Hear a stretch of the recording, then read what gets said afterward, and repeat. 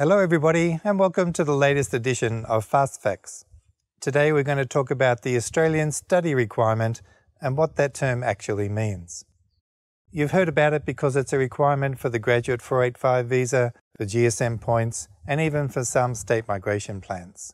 So basically, you need to study a CRICOS registered course or courses that would add up to at least 92 weeks.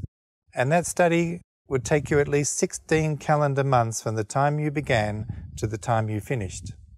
Now, your education provider will provide you with a letter, a completion letter, outlining the time you began to the time you completed.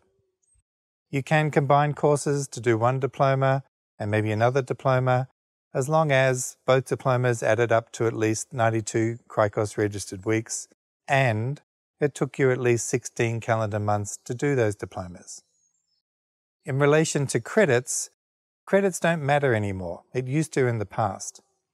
So if you've completed a single 92 week CRICOS registered course and you have completed it from start to finish in 16 calendar months, you may have taken 25% credit of that course from subjects that you did overseas.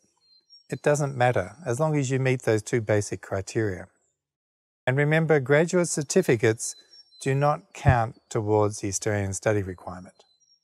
Remember, there's a lot of components when it comes to the Australian study requirements, so make sure you read our newsletters on our blog. Subscribe to our YouTube channel, like us on Facebook, and we're going to see you next time with some more fast facts. So bye for now.